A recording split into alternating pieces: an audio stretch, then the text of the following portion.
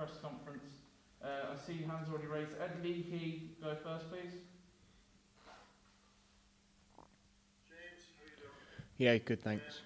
Um, from your own point of view, you came close a couple of times, but overall, really disappointing result. And um, I suppose just from a player's perspective, how, how do you how do you assess the whole performance? Yeah, it's uh, it's a really disappointing night, you know. Um, we, we went out there full of confidence and and uh, wanting to get get get the win, and we, we, we fully believed that we would. And um, it, it wasn't to be. Like you said, I had a couple of uh, efforts myself. I, I fully backed myself to score the first one. I should do better. I, I should score. Um, uh, so that's on me. But uh, the players, uh, they know it's not good enough out there tonight, and uh, we've got to dust ourselves down and and uh, regroup because uh, there's no point. Um, dwelling on it and feeling sorry for ourselves. We need to uh, we need to stand up as men and um, and, and try and do better.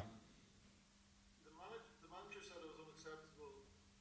The captain said it was embarrassing. Um, just in terms of the the message before the game, during the game, was was it clear and concise enough to understand?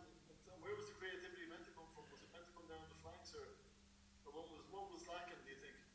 Yeah, I uh, I completely agree with both the manager and and Seamus. Um, yeah, it, it wasn't acceptable and it, it was embarrassing, and um, we as players have got to take that on the chin and uh, uh, and uh, try and do better next time. But um, the game plan, it's a new system.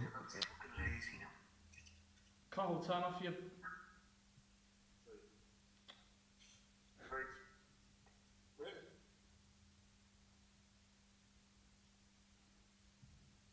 Carry on.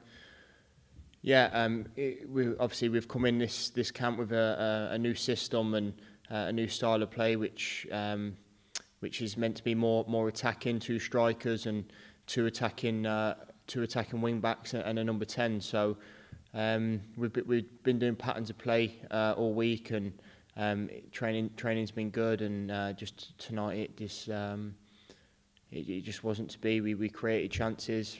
My myself, me and myself had a couple and uh, and a few of the lads did, and we it just we just couldn't find the back of the net, and uh, we need to do, we need to be a bit more ruthless in front of goal. I think. Gavin Cooney, please.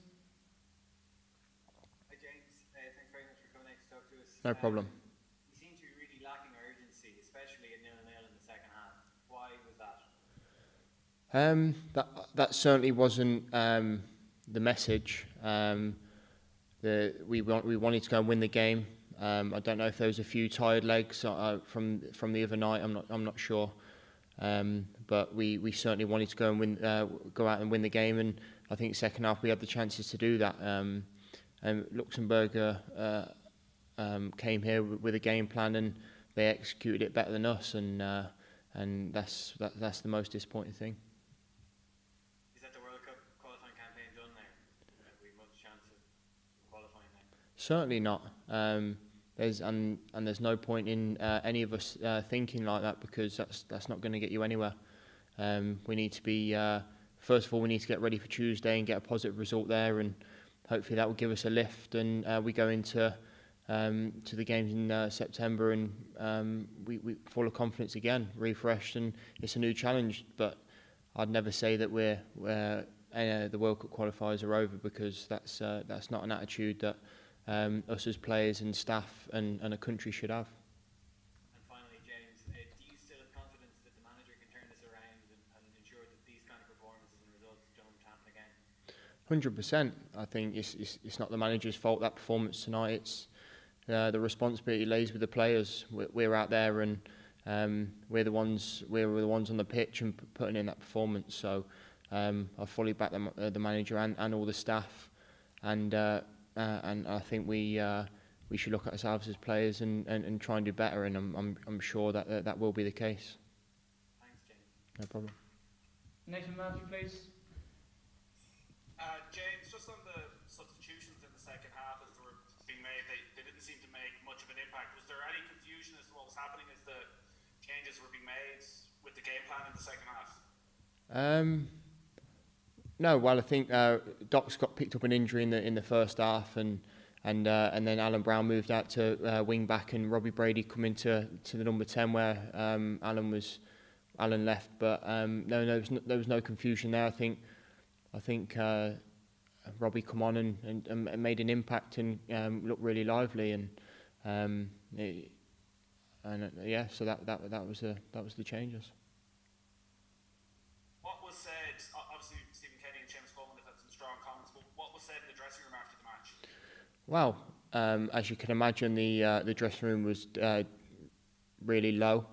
Um, we uh, we got the thoughts from the staff and, and, and a few of the players had their say as well, but um, uh, that will all stay in house as, as you can imagine. But um, it, it was certainly some home truths uh, um, spoken there, and, and I think that can only benefit benefit us moving forward. Thanks, James. And we're going to end with Damien Spellman, please. Hi James, just, just one. D- Does this have to be a watershed moment for the, the international team? Do you have to sort of draw a line on this and virtually start again? One hundred percent. Um, There's no way. There's no point in dwelling on uh, on, on tonight.